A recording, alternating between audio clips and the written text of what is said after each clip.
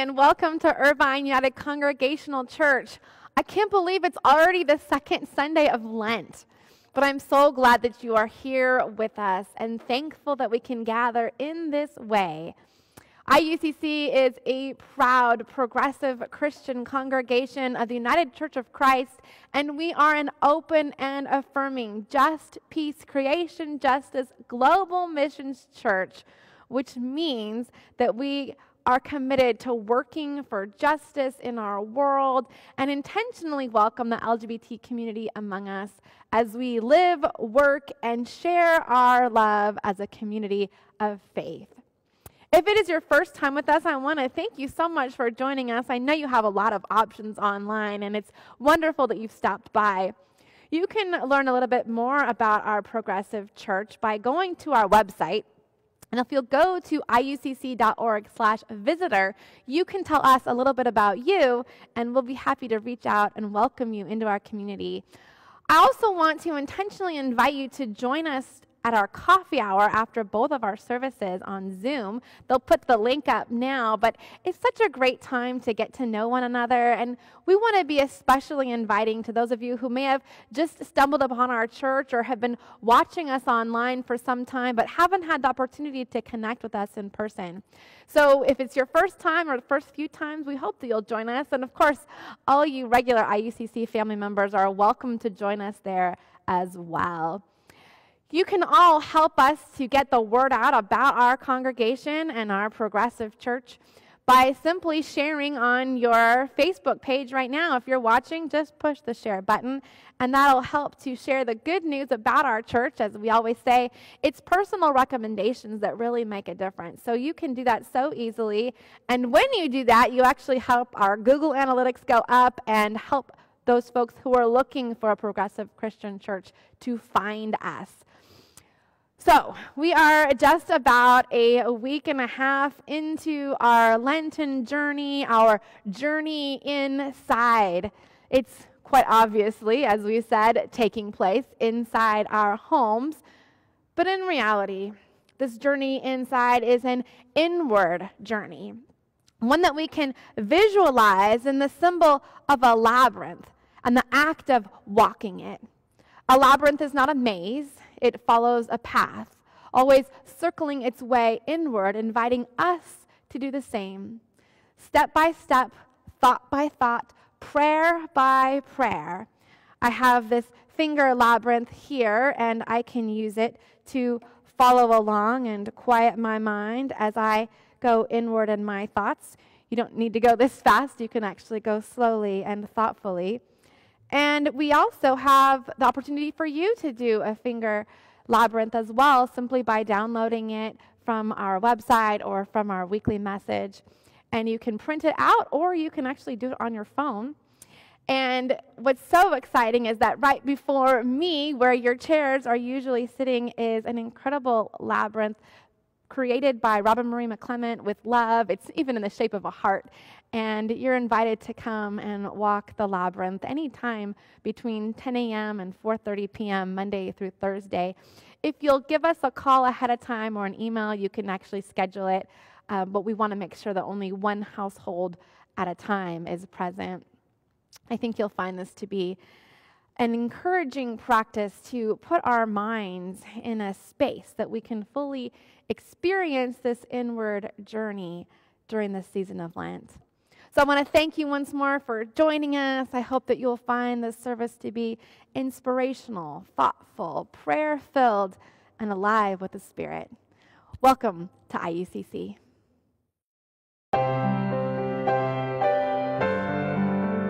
We are a wilderness wandering people on a journey of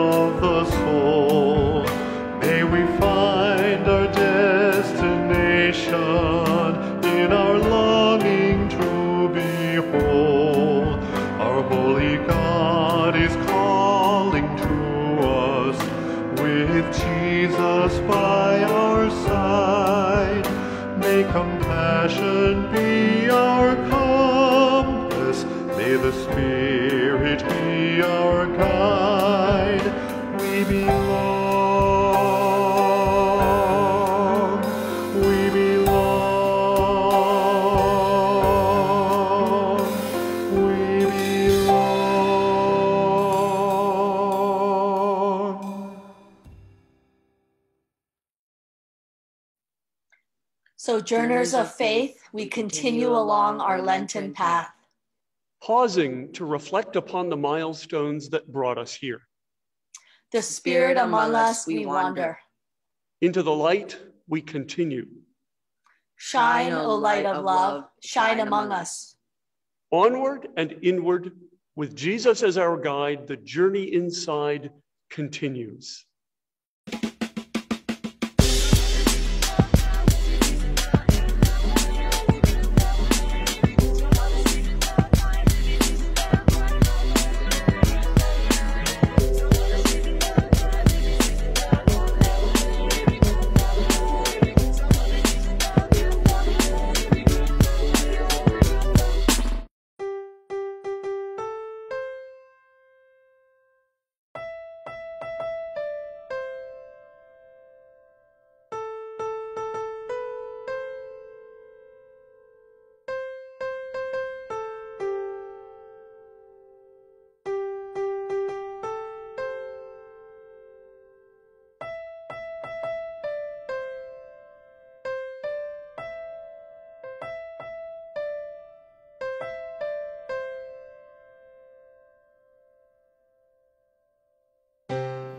Are some fun facts. Some fun facts. Some fun facts. Some fun facts about light.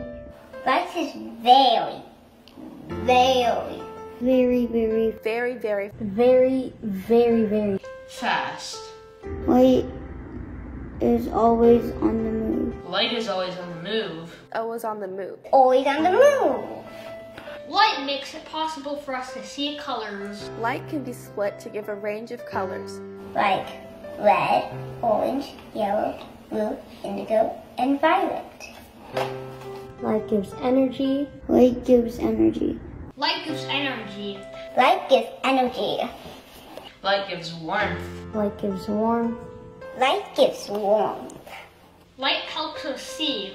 Light helps us see. Light helps us see. Light helps things grow. Light helps things grow. Light helps things grow. We are the light of the world. We are the light of the world. We are the light of the world. We are the light of the world. We are the light of the world. We are the light of the world. What will you do? What will you do What will you do What will you do What will you do to to let your light shine? to let your light shine? to let it shine? To let your light shine. To let your light shine? What will you do when you make your light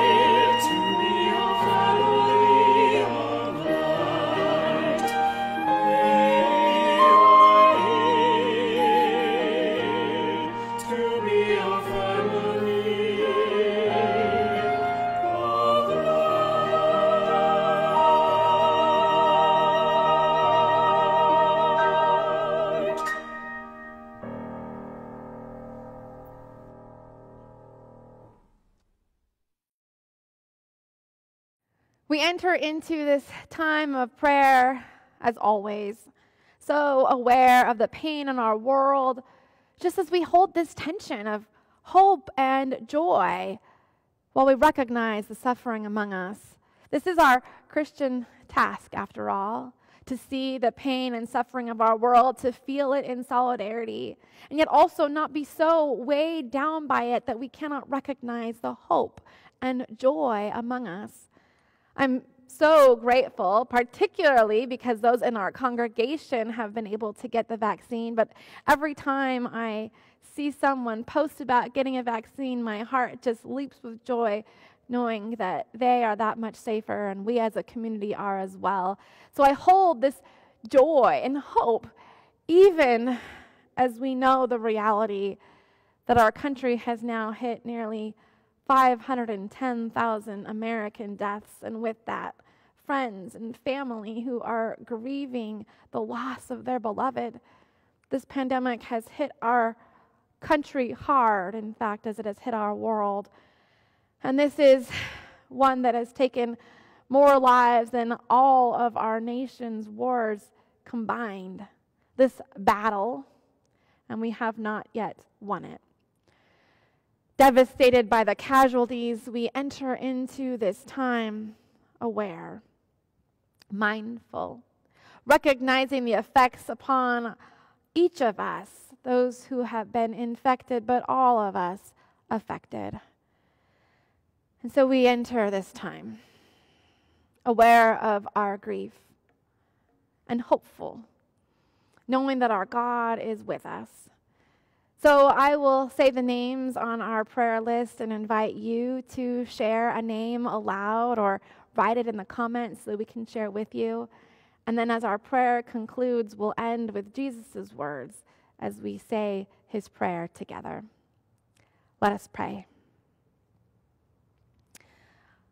God of the journey, you invite us inward to connect more fully to you, to experience you now, illuminating our path, guiding us from the outside in and the inside out. You know us fully, our hopes and our dreams, our worries and our fears. You know the weight that we carry the isolation of these days, our longing to connect out and in. And so we pause, we breathe, we journey, and we acknowledge all that we are carrying with us along our way. Holy One, hear the prayers of your people.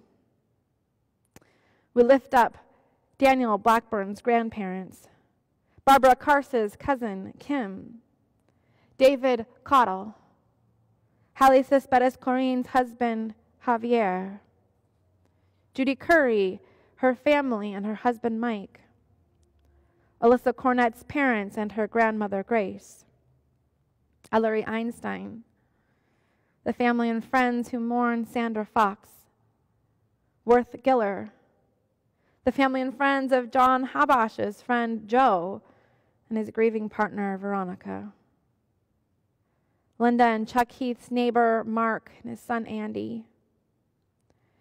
Joan Henderson, Terry and Eric Houston, Janice Johnson, Jen Lofstrom and her mother, Angie Lucas, Sharon Lynn's friend Nan, Jen Mermack's cousin Amy, Cheryl Moore, Marion Craig Rep's daughter Anna and their new grandbaby, Marjorie Robertson's brother Sean, Matt Royster's grandson. Ruth Sandberg's sister in law Mary and her sons David and Eric. Susan Sayers' sister Patty. Dave Schofield's friend Kate.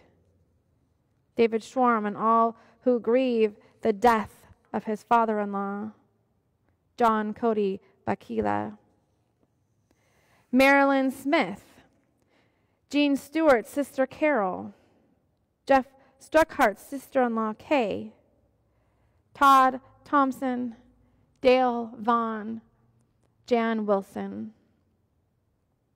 You know our hearts, the depth of our souls, the prayers that we say out loud, and those that we hold deep inside. Hold us in the light of your love that we might carry that light back out into the world. We follow along the path of the one who shared his light and illuminates our way. His prayer alive upon our lips, we pray. Our Creator, which art in heaven, hallowed be thy name.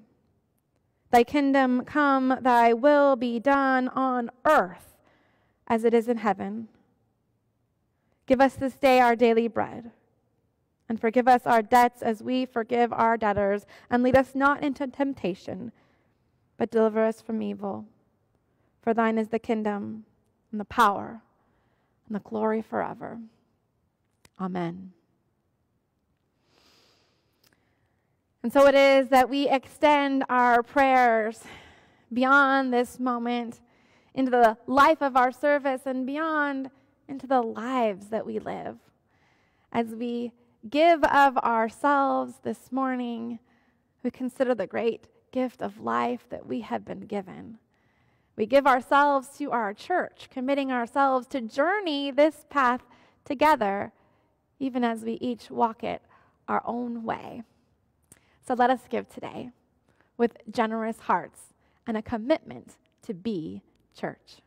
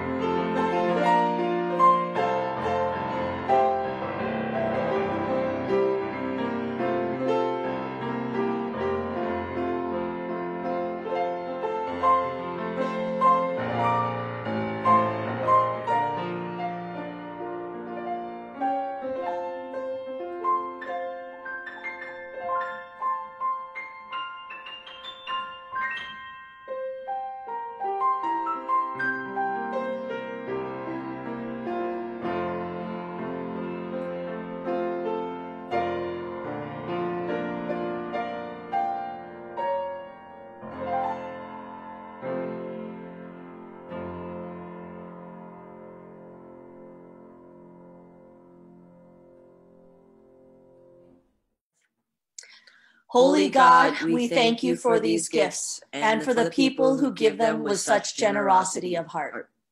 Together we journey your path, mindful that you invite us deeper into relationship with you and one another. Grateful to give of ourselves and be your church a light into the world. Amen. Matthew 5, verses 14 through 16. You are the light of the world. A city built on a hill cannot be hid. No one, after lighting a lamp, puts it under a bushel basket, but on the lampstand, and it gives light to all in the house. In the same way, let your light shine before others, so they may see your good works and give glory to your Father in heaven. I can't go to sleep. I won't. I'm sorry, but it's time for bed. You've had your story, you've had your song, now it's time to sleep. No, I can't yet. I'm not tired. Let's talk about God. Hmm. A conversation she knows I love having, but I recognize it as a diversionary tactic. God wants you to go to sleep. But it's too dark. I can't go to sleep. I'm all alone here. You're not all alone. We're here. We're right downstairs. But I'm afraid of the dark. Turn on your star belly and I'll turn on the nightlight. That should be more than enough to help you sleep. Well, she wasn't happy about it, but she knew she was safe.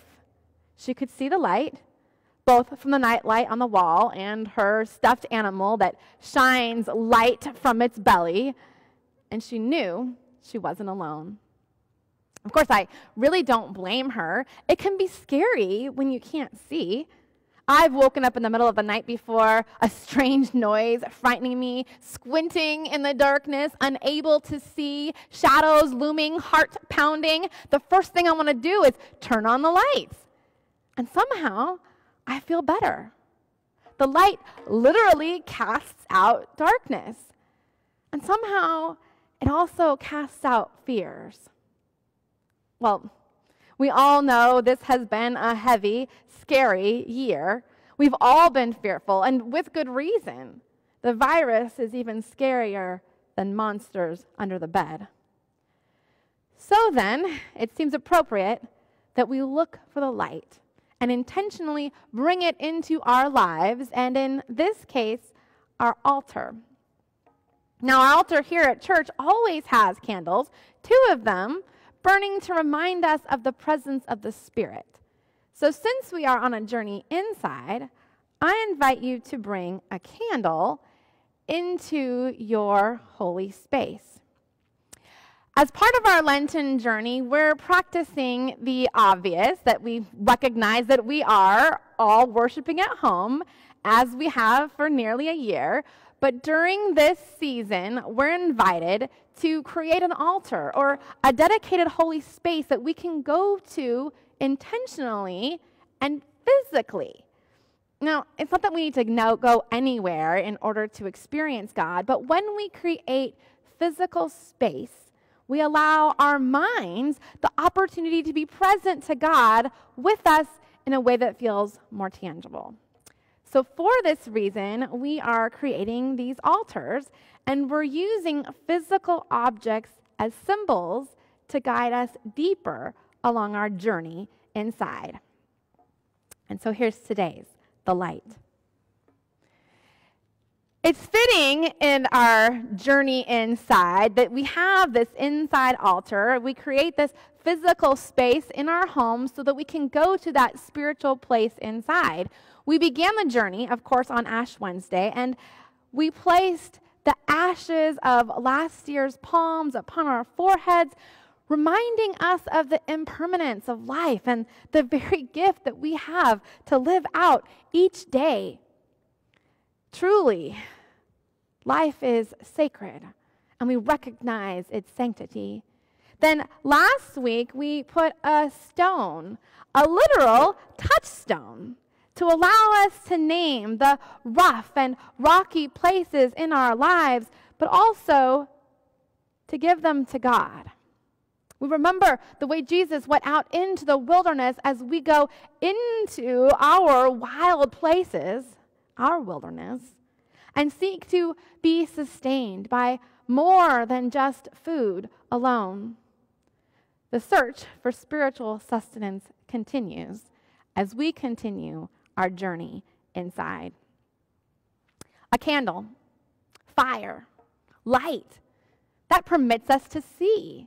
The flame enlightens, literally, as I said, casting out darkness, and figuratively enlightening our minds. When we can see more clearly, we can understand the larger picture and thus understand our place in it. We can ask ourselves, what is it that I need to cast more light upon in my life? Where am I only seeing in part? What shadows are clouding my vision? Of course, when I think of light and fire, my mind immediately goes to Pentecost. I imagine the tongues of fire, the Spirit of God, a flame with wisdom. And, and you remember this? That was the precursor, really, to the light bulb over the forehead, was the flames hovering just atop their heads and awakening. In the Pentecost story, it is when the flames were above their heads that they could finally understand one another, each in their own languages like the light that clears vision. The flame enlightened them with the ability to connect beyond themselves, which is, of course, a powerful image for us today as we think about how we connect beyond ourselves in a pandemic. So, yes, as far as biblical imagery goes, fire and spirit go hand in hand. The writer of the Gospel of John is aflame with light imagery. Beginning in the first chapter of the writer casts Jesus as the light of the world, the one who came to shine in the darkness, to be the light of our lives.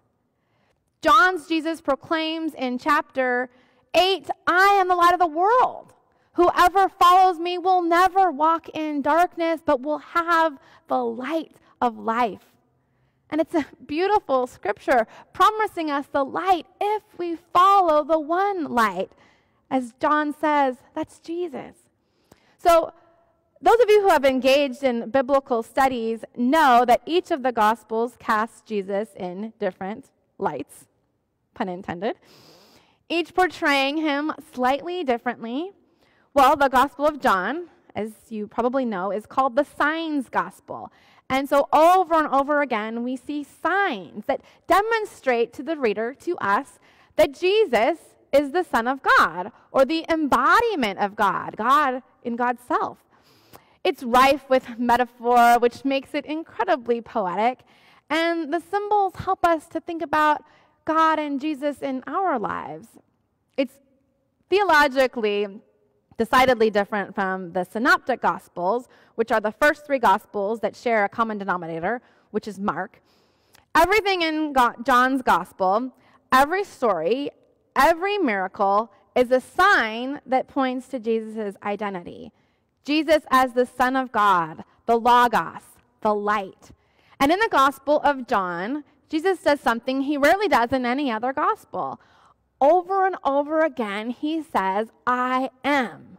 He's echoing the name of God, the only name we ever hear in reference to God. I am. When asked, Who are you? So in the Gospel of John, we hear Jesus say, I am. And immediately we can understand this as a theological statement. I am the bread of life. I am the true vine. I am the door of the sheep. I am the way, the truth, and the life. And of course, I am the light of the world. In the Gospel of John, it's all about Jesus. The Christology is what we call high, meaning Jesus is basically God. Whereas if you remember the Gospel of Mark, the Christology is pretty low. The Son of Man isn't necessarily the Son of God. In fact, in Mark, every time someone asks Jesus if he's the Messiah, he evades the question. And then when they make a statement like, I know who you are, Jesus tells them to go away and don't tell anyone. But in the Gospel of John and the theologies and Christologies that are derived from it, we get a Jesus who does all the work. You remember John 3:16, of course. I like to call it the touchdown scripture because there's always somebody holding it up at a sign at a football game so that Jesus can do the work and get their team the touchdown. Because that's the thing. In John's gospel, Jesus does the work, or, or God does, using Jesus as the sacrificial lamb. For God so loved the world that he gave his only begotten Son, that whosoever believeth in him shall not perish, but have everlasting life. I always say it in the King James Version because I memorized it from my grandmother when I was a kid. But it's a good example for us of how in the Gospel of John, it's about believing in Jesus. And for the Gospel of John, all the signs point to Jesus. Jesus will do the work if we just believe because he's the bread of life, he's the way, he's the vine, and he is the light. And Jesus is a light. John's not wrong. The imagery is beautiful. But I think it's worth noting that Matthew's Jesus doesn't say that. In the gospel, according to Matthew, it's not I am the light of the world, it's you are the light of the world. See, what Jesus does here is put the onus back on us. It's not about believing in Jesus. In fact, I'd say it's more about believing in ourselves. It's not about Jesus' light, it's about our light. You are the light of the world. What John's gospel reserves for Jesus, Matthew's Jesus puts back on all of us. We are the light. That is a huge responsibility. Being light, I think that's why John would prefer it all go to Jesus. I think that's why many Christians would prefer it all be Jesus' problem. Jesus can do the work. Shine, Jesus, shine, as the praise song sings. But Jesus' song today isn't actually shine, Jesus, shine. It's you shine. You are the light of the world. Shine brightly. I think Jesus prefers us to sing a little Lennon. We all shine on like the moon and the stars and the sun. Because every time we put it on Jesus, Jesus puts it back on us. So, since we are embarking upon this journey inside, our Lenten task is to look for the light. The candle reminds us of God's presence in our world, but it also illuminates a path toward God within us. I imagine our labyrinth path that spirals inward, leading us to the light in us. God's presence in us. You are the light of the world. It makes me think about Molly, my daughter, and her nightly fears. The candle is both the nightlight and her star belly, the stuffed animal. That star belly that illuminates light from the belly, that shines out to, in this case, cast these light images upon the ceiling. But I think our lives are kind of like that. We experience God as a light that shines upon us, but we're also like the star belly. These beings that have this light that just emanates from us. So that when we find ourselves in the dark places of our world or the dark night of the soul, the light shines and the darkness shall not overcome it. We're never far from the light because the light is in us. The Spirit is within, shining out. It reminds us that God lives in us and that we have a responsibility to shine our light, to share it with the world. There's no stuffing it back inside, no covering it up with a basket and forcing the oxygen out so the light will be snuffed. There's no hiding it away, no shrinking, no claiming to be small and powerless. If you are the light of the world, the light of the world, you shine. You let that light shine with all of its brilliance, radiating into dark places, starting within on this journey inside, and then far beyond ourselves as we let our light join with all of the other reflections of the one light that lives in us, around us, and through us. Well, Molly wanted to talk about God, so I guess you can thank her for today's sermon. And should you find yourself like her, afraid of the dark and all the scary things that come with it, look for the light. It's out there, it's in here. And you are never alone. Find the light, be the light, carry the light. Amen. We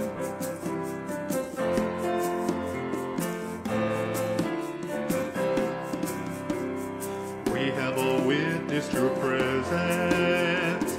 We have received your grace.